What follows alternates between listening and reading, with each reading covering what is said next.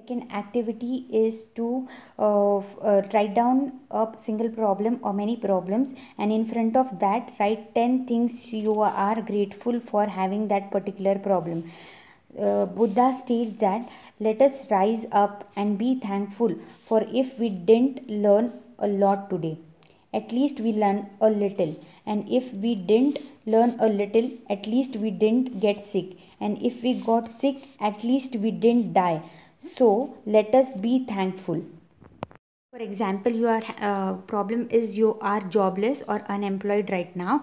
So uh, you can say, I'm grateful that I am having time for myself or for my family, or I have a value for job now that I know what not having job is like or um, i'm i'm getting time to learn new things or at least i have a good health so that i can work and um, uh, i'm grateful for the time i'm getting to rest and uh, uh, i'm thankful for my last job that has made made me experience and things like that and the third part of our today's activity is a challenge that uh, you go through whole of your day without saying anything negative. That is watch your words.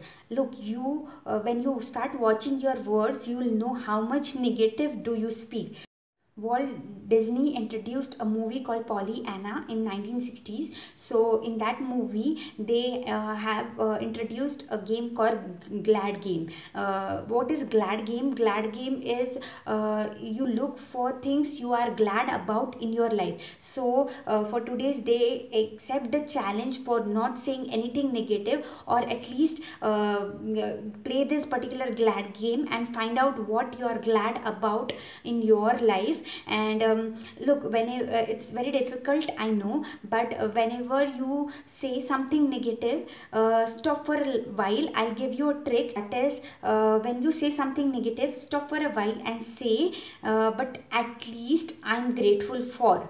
That is for example say i say my maid uh, daily comes late but at least i'm grateful that she comes regularly so this was the third part of our activity. And the fourth part is don't forget to hold your gratitude stone before you go to bed. And uh, recall whole of your day. And uh, choose the best uh, good thing happen to you. And feel gratitude for it look if you follow your heart and feel gratitude for things in your life believe in your dreams uh, take proper action and persevere it.